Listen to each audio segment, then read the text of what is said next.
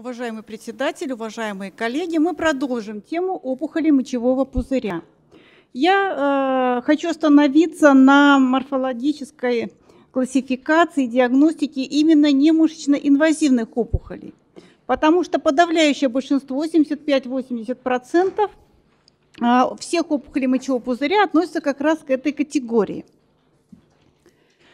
Что же относится, э, что является немышечно-инвазивным опухолью опухоли мочевого пузыря. Это опухоли Т А и Т1 стадии, то есть без инвазии и с инвазией в собственную пластинку слизистой оболочки. Очень важно разделять мышечно-инвазивные и мышечно-неинвазивные, потому что они имеют абсолютно разное э, терапевтическое воздействие, разную клиническую тактику ведения пациентов.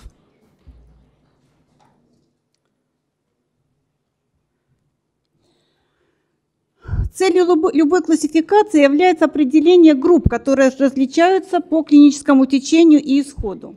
Классификация, любая классификация должна быть воспроизводима и одинаково понимаема как морфологами, так и клиницистами.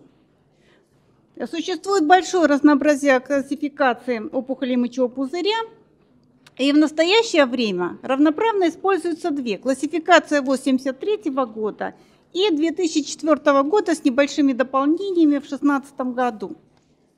Классификация 1973 года была очень простая. Она определяла папиллому и папиллярный рак трех степеней э, анаплазии.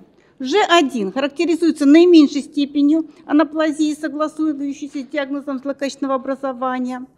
Ж3 – опухоль с наиболее выраженной клеточной анаплазией, и Ж2 занимает промежуточное положение – как вы видите, не, абсолютно нет никаких четких критериев, на основании которых мы относим опухоль в ту или иную категорию. Но, как это ни странно, она нам, конечно, морфологам очень удобна. Не знаешь, что писать, пиши G2. Ну, можно еще так промежуточное G1, G2, G2, G3. Тем не менее, как это ни странно, она имела свое значение в клинике – и э, была клинически значима. И очень многие э, протоколы основаны на этой классификации до сих пор. Время шло, и в 1998 году ВОЗ и Международное общество уропатологов предложили другую классификационную схему, которая основана на совершенно иных э, принципах. В 1999 году ВОЗ предложила новую классификационную схему. Фактически она повторяла предыдущую годом раньше с той разницей, что опухоли а, разделили а, на три категории э, степени злокачественности. Очень долго обсуждались эти классификационные схемы, собирали э, конференции. В Анконе состоялась очень большая конференция, посвященная этому вопросу. Основные вопросы, которые обсуждались, вообще годны ли вот эти схемы и э, детализированные критерии этих трех классификаций. Какая из этих классификаций имеет лучшую воспроизводимость и клиническую значимость? А, действительно ли опухоль низкого злокачественного потенциала, которая раньше считалась, а, относилась к карциноме G1, не является карциномой? Осуществима ли трансформация одной классификационной схемы в другую и как это сделать? И как, вообще какая из этих а, схем имеет большее клиническое и прогностическое значение? Тем не менее, в 2004 году пришли к консенсусу и выш, увидела свет новая классификация, которая была издана в серии Blue Books «Патология и генетика». Эта классификационная схема повторяла э, классификационную схему 1998 года ВОЗ и Международное общество уропатологов. Вот сейчас по этой схеме мы немножко и пробежимся, основные ее принципы. На чем основана эта классификационная схема? В первую очередь на молекулярно-генетических изменениях, которые имеют место в тех или иных опухолях. Эти э, изменения, я не буду на них останавливаться, но они находят свое отражение в морфологической картине, и мы видим морфологические признаки в световой микроскоп и можем отнести опухоль в ту или иную категорию. Таким образом, их э, опухоли разделили на генетически стабильные это опухоли низкой степени злокачественности, и опухоли с, с большим количеством всевозможных генетических альтераций, генетически нестабильные, которые а, ну, опухоли высокой степени злокачественности. Каждая из этих категорий может быть либо плоской, плоским поражением, либо папиллярным. Такая классификационная схема позволяет избежать двусмысленной градации 1, 2, 2, 3. Надо четко сказать high grade или low grade. Промежуточного варианта нет. А, а, была введена новая классификационная категория папиллярная уротелиальная опухоль низкого злокачественного потенциала, и она не должна оцениваться как карцинома. Группа опухолей генетически нестабильных, неинвазивных, они обладают такими же генетическими альтерациями, как и инвазивный рак. Как же провести, провести трансформацию? Возможно ли трансформацию схемы 1973 года и 2004? Папиллома как была папилломой, так она папилломой осталась. Категория G1 частью ушла в папиллярную уротелиальную опухоль, то есть она вообще выпала из категории карцином. Но большая часть ее ушла в категорию э, карциномы, для сокращения времени я буду называть high-low grade. Карциному low grade. G2 частью карцинома low grade, часть ее ушла в карциному high grade, разделилась эта категория. А э, опухоли G3 полностью оказались в группе high grade. Генетически стабильные процессы. Плоские – Уротериальная гиперплазия, реактивная атипия, атипия неизвестного значения и дисплазия. И папиллярный. Сейчас мы э, пробежимся по всем этим категориям. Что такое уротериальная гиперплазия? Это утолщенная, притом заметно утолщенная слизистая оболочка мочевого пузыря, но без признаков цитологической атипии. Как правило, мы обнаруживаем это состояние по соседству с папиллярными опухолями низкой степени злокачественности. Когда мы обнаруживаем самостоятельно этот процесс, он не имеет никакого важного призлокачественного потенциала. Хотя генетический анализ показал, что клонально она может относиться к опухоли с низким злокачественным потенциалом. Но здесь есть одно но. Мы обязательно, оценивая такие состояния, мы обязательно должны знать анамнез. Если у пациента в анамнезе э, была э, папиллярная уротелиальная опухоль, Э, после трансуретральной резекции, после внутрипузырной химиотерапии, то такие поражения, особенно если это папиллярная гиперплазия, должны оцениваться как рецидив заболевания. Реактивная уротелиальная атипия. Уже из названия очевидно, что все изменения, которые мы видим, связаны как раз-таки с реактивными регенераторными процессами, которые сопровождают хроническое или острое воспаление. А вот уже уротелиальная дисплазия – самое что ни на есть настоящая плоская опухоль. И клонально она абсолютно идентична папиллярной уротелиальной опухоли э, низкой степени, э, папиллярному уротелиальному раку низкой степени злокачественности. А, посмотрите, это состояние прогрессирует до опухоли папиллярной от 5 до 20% случаев. Но чаще всего изолированно мы ее не встречаем, потому что клинической картины э, это состояние почти не имеет, и пациенты не обращаются. Как правило, это уже развивается в папиллярный уротелиальный рак, и мы видим по соседству с папиллярным уротелиальным раком как фон. Когда мы не можем э, понять, что, с чем связана э, атипия, с воспалительной инфильтрацией, которая присутствует, или это все-таки дисплазия настоящая? Не всегда это можно понять по дистологическому препарату. То есть такая лазейка. Это состояние мы относим в уротелиальную атипию неизвестного значения. Уротелиальная папиллома – это опухоль, которая состоит из тонкой, деликатной фиброваскулярной основы, покрытой уротелием. И, внимание – Ключевые слова, неотличимым от нормального. Это определение еще в 1968 году э, дал Мастофи. Таким образом, коллеги, диагноз Внутри, э, уротелиальная папиллома с дисплазией, уротелиальная э, папиллома с очагами карциномы инсиду не имеет права на существование. Забудьте эти слова, если кто-то их э, употреблял. Эта опухоль встречается редко, очень тоненько, аккуратненько, очень нежнее, хотя бывает э, и диффузный папилломатоз.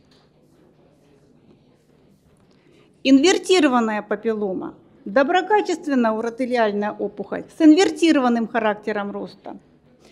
Здесь могут быть минимальные проявления атипии опухолевых клеток, либо не быть. Но если эта атипия есть, это не истинная опухолевая атипия. Атипия связанная с дистрофическими изменениями клеток. Впервые эта опухоль была описана Паштисом в 27 году, потом они благополучно забыли, пока в 63 году Поц и Хёрц опять не обратили на нее свое внимание. Вот для этой опухоли есть своя излюбленная локализация. Это треугольник Льето. Отсюда и симптомы. Гематурия и возможный симптом обструкции затруднения оттока мочи. Микро, э, макроскопически это гладкая поверхность. И микроскопически мы видим здесь неизмененный покровный уротелий. Хотя мы не должны забывать о том, что инвертированная папиллома может сочетаться с обычной папилломой, и, и тогда мы видим инвертированный характер роста при обычной папилломе. Рецидивирует при адекватном хирургическом лечении редко, очень редко, и дальнейшего никакой химиотерапии не нуждается. Папиллярно-ортелиальная опухоль низкого злокачественного потенциала. Что это за зверь? Вот об этой э, категории очень долго спорили, вообще имеет она право на существование. Но, тем не менее, она есть в классификации и определяется как папиллярная ротелиальная опухоль, которая напоминает папиллому, но с увеличенной клеточной пролиферацией в утолщенном нормальном уротелии. Таким образом, если это перевести э, на более э, такой понятный язык, это папи, уротелиальная папиллома с очень толстым уротелиальным слоем. Сосочки никогда не сливаются. И что характерно, мы видим очень четкий зонтичный слой. А э, базальные клетки выстраиваются в палисад. Это очень характерная картина для папиллярной уротелиальной опухоли. Прогноз при... Э, и еще я хочу сказать, что, коллеги, что если этот диагноз должен быть редким настоящая уротериальная э, опухоль низкозлокачественного потенциала встречается очень... И споставить мы ее можем только при полном удалении опухоли. По биопсии мы не можем ставить такой диагноз. Папиллярно-уротериальный рак низкой степени злокачественности. Цитологическая и архитектурная атипия выражены умеренно. Эти опухоли достаточно часто бывает мультицентричны. Одна, две, при том в разных местах, и очень любят рецидивировать. Прогрессирование к инвазивным формам и смерти менее 5%. Но вот эти пациенты, а, они нуждаются в мониторировании, потому что очень а, высока вероятность рецидива заболевания. Посмотрите, три четверти пациентов имеют рецидивы. Притом рецидивы могут продолжаться в течение многих лет и э, вовремя выполненная внутрипузырная химиотерапия снижает вероятность рецидива. Вот так выглядит. Характерная черта. Зонтичный слой обязательно присутствует. Хотя при не совсем адекватной обработке материала он может искусственно теряться. Генетически нестабильные процессы. Их список не столь широк, как генетически стабильных. Всего лишь два. Карцинома инфету и папиллярный рак э, high grade. Но это очень грозные состояния. Папиллярный уротелиальный рак высокой степени злокачественности, в общем-то, диагностируется легко. Мы без сомнения видим, что это злокачественное образование. Сосочки сливаются, выраженная клеточная атипия, метозы, притом на разных уровнях. Но не всегда на самом деле такая картина четкая и ясная. Бывают опухоли, где э, э, сложно однозначно сказать. Смотрим внимательно на ядра, на полиморфизм ядер, на наличие ядрышек, если их очень много в большинстве случаев, и метозы. Метозы э, располагаются на всех уровнях уротелиального пласта. Иммуногистохимическое исследование может помочь нам а, поставить диагноз, подтвердить э, high grade. Для рака high-grade характерна патологическая экспрессия 20-го цитокератина. Это либо полная его потеря вследствие потери зонтичного слоя, либо экспрессия на всем уровне пласта. Часто P53 позитивный и высокий Ки67. При том, когда если будете оценивать, он может быть промежуточное положение, процентов 10-15. Обратите внимание на то, как расположены эти клетки. При high grade Ки67 позитивные клетки располагаются в любом слое уротелиального пласта. Классификация ВОЗ 2016 года наконец-то внесли э, ясность, как нам поступать, когда мы обнаруживаем гетерогенные опухоли. Не так часто это бывает, но все-таки встречаются опухоли, где одномоментно существуют структуры и high grade, и low grade. Что тогда делать? Вот даны вот такие цифры в классификации ВОЗ. Кто-то считает 5%, кто-то считает 10%. Опухоли занимает рак high grade, надо расценивать ее уже как карциному высокой степени злокачественности. Это уже на ваш выбор. Четкой цифры нет. А, тем не менее, смешанные опухоли, они ведут себя менее агрессивны, чем чистые карциномы высокой степени злокачественности. Поэтому в своем ответе обязательно отразите, что существуют и те, и, и те структуры. Еще одно уточнение 2016 года.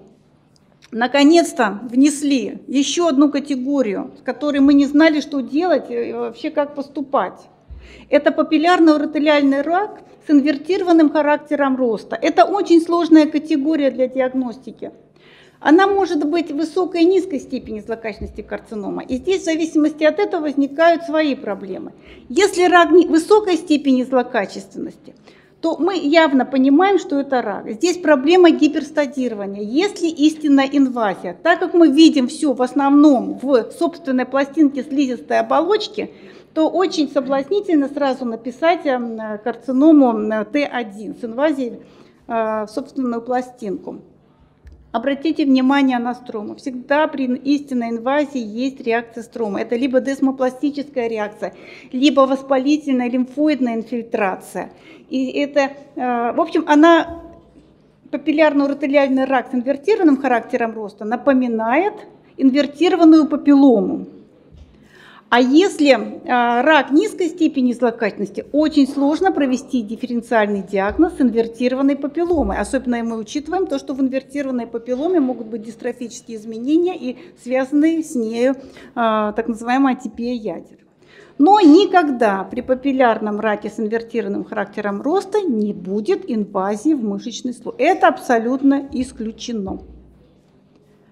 Карцинома инситу 1952 году ее писал Меликов.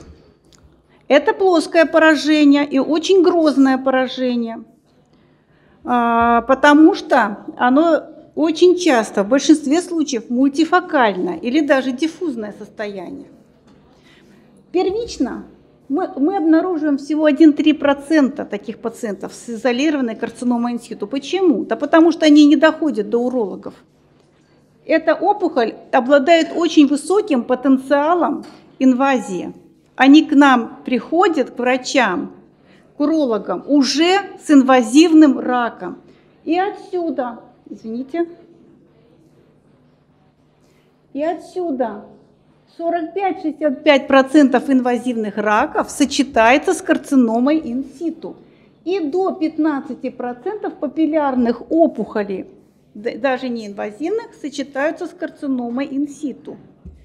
И здесь не должно быть гипердиагностики. Почему? Потому что если по-настоящему карцинома инситу, то до двух третей пациентов имеют вовлеченную в карциному инситу уретру, а в 40% случаев поражается и переуретральные простатические железы. Что за этим следует? А за этим следует тактика лечения исключительно цист, простат, эктомия. Никаких внутрипузырных химиотерапий, никаких БЦЖ-терапий. Это сразу мы обрекаем на цистэктомию. Поэтому, если вы не уверены, что это карцинома инситу, и вам только что-то показалось, пожалуйста, такие диагнозы не пишите, но и старайтесь не пропускать.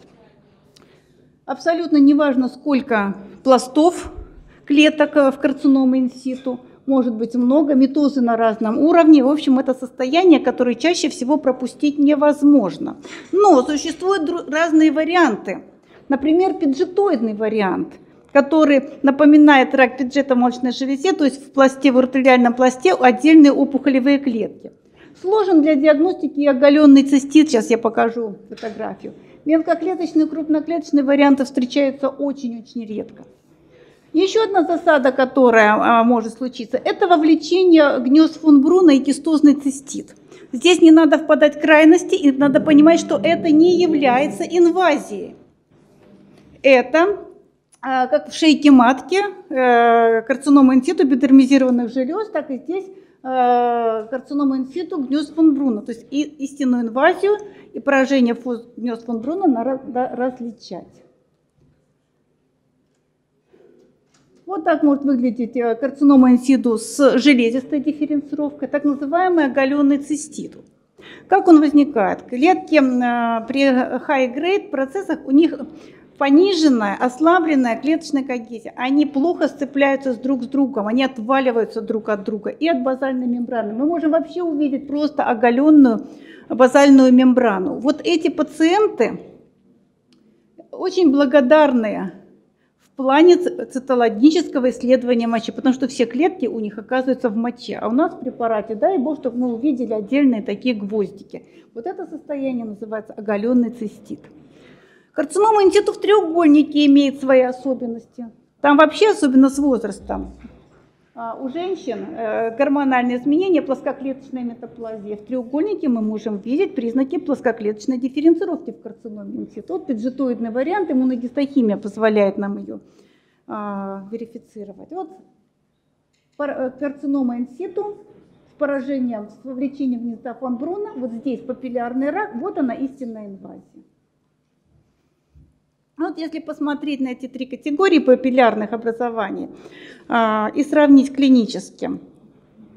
Папиллярная артериальная опухоль, рецидив почти в половине случаев. Прогрессирование, посмотрите, степень, то есть это увеличение э, степени анаплазии, то есть переход в low grade, 11%.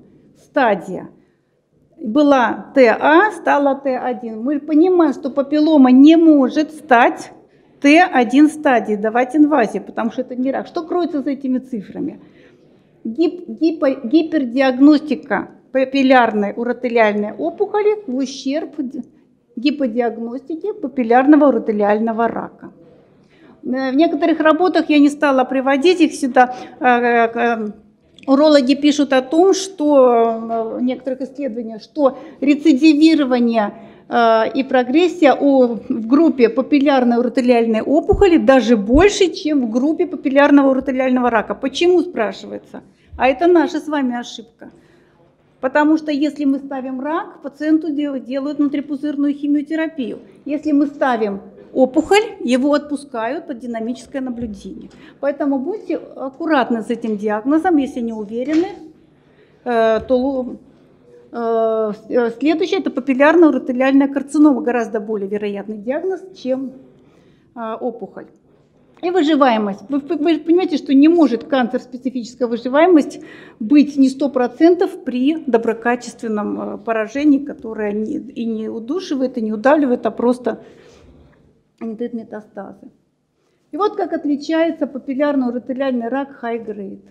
Он реже рецидивирует, но прогрессирует, то есть становится либо инвазивным стадия э, ТНА переходит в Т1, а далее в мышечно-инвазивный. Вы можете проверить работу своей лаборатории по поводу стадирования. У вас должно получиться примерно вот такое распределение. ТА стадия 70%, Т1 стадия около 20%. Я когда-то эти цифры привела, показала на конгрессе онкоурологов, они аж присвистнули и вообще вот даже, потому что у них ТА не бывает. Я не буду называть лаборатории, но э, все морфологи были очень взбудоражены. Э, у нас идет во многих лабораториях гипердиагностика ТА стадии, Т1 стадии. При Т1 стадии наиболее важный прогностический фактор – это, конечно, гистологическая градация. Это high-grade или low-grade карцинома. И наличие сопутствующей карциномы инситу. Т1 стадия. Это могут быть либо отдельные э, клетки, гнезда э, в инвазии в собственную пластинку слизистой оболочки, либо это широкий пласт вплоть до э, мышечной оболочки. Здесь э, следующие подводные камни. А, очень часто мы видим артефакты, ретракционные артефакты.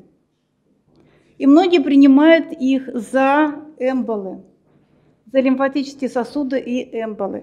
Так вот, эмболы при Т1 стадии встречаются очень-очень редко, но бывают. Поэтому, если вы хотите поставить эмболы, вы должны это доказать, что это не ретракционный артефакт. Вот так выглядит.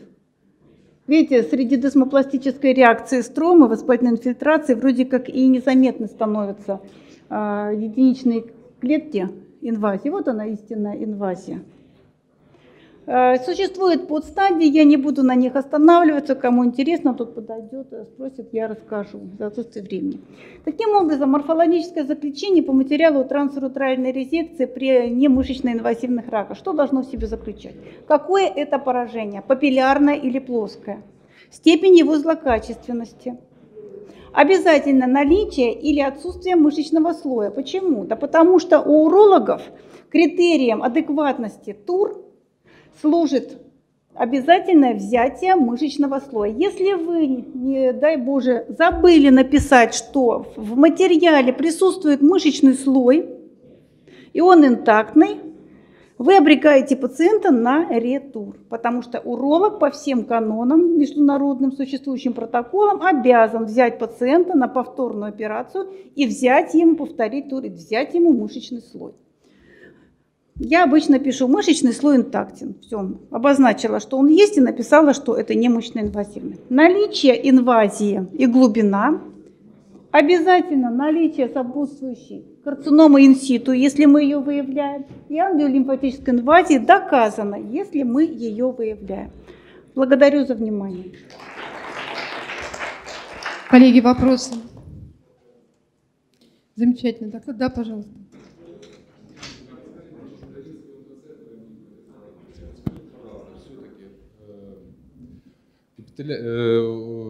Папиллярная уроэпителиальная опухоль это э, требует, ну это не рак, понятно, по морфологической классификации, по клинической классификации.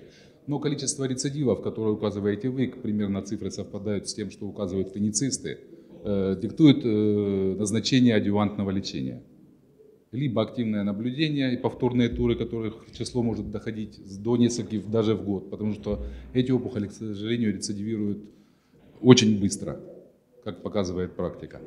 Вот. А назначать, э, то есть слово опухоль и отсутствие там рака не развязывает руки нам в плане назначения, я э, онкохирург, я не патоморфолог, э, не может развязать нам руки в плане назначения даже БЦЖ-терапии, потому что она обусловливает определенные осложнения, которые ну, соотношение качества жизни без рецидива и в данном случае отсутствие рака – уговорить пациента на это лечение, да и вообще это противоречит протоколам и международным, и российским, и нашим, украинским, если можно так сказать.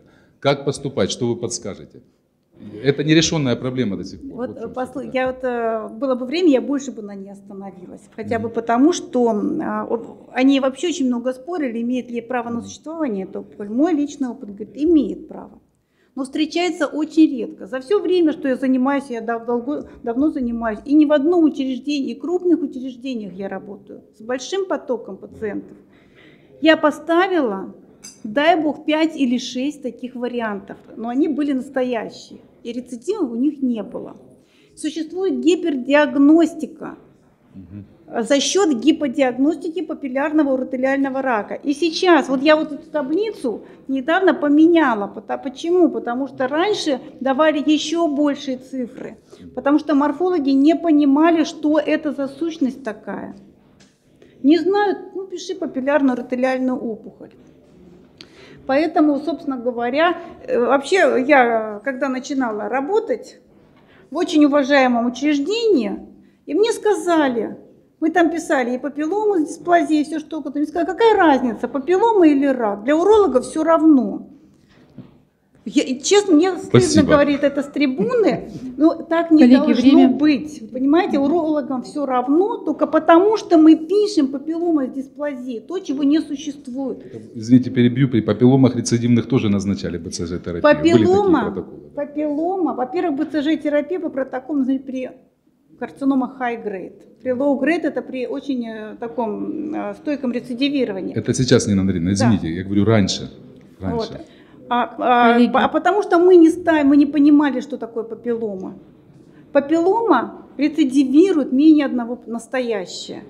Поэтому нам надо поднимать уровень морфологической диагностики. Урологи должны работать вплотную с морфологами. И Спасибо. понимать мы должны друг друга. Всё, Мы будем Спасибо. наших морфологов ну, мягко прижимать к стенке. Ну Спасибо. нет, вы говорите Мягко, это мягко. Нина Андреевна у нас Спасибо совсем большое, извините. вышли. Да, спасибо.